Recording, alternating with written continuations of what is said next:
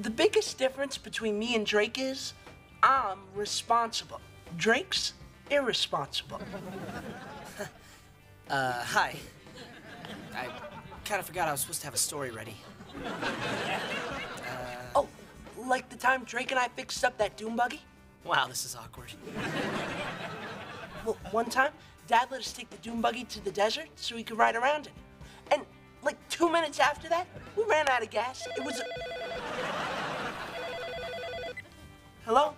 Hey, what story are you telling? You cannot steal my story. I'm not. I just want to know because it might help me think of one. Well, I'm telling him about the time that we went to the desert and brought the dune buggy and. Oh, we got- perfect. Thanks. Drake, Drake, you better not steal my story, or I swear. So one time, me and come- Josh take the dune buggy out to the desert, right? And Josh tells me to make sure it's filled with gas and to bring Oh, some no, water. no, no, no!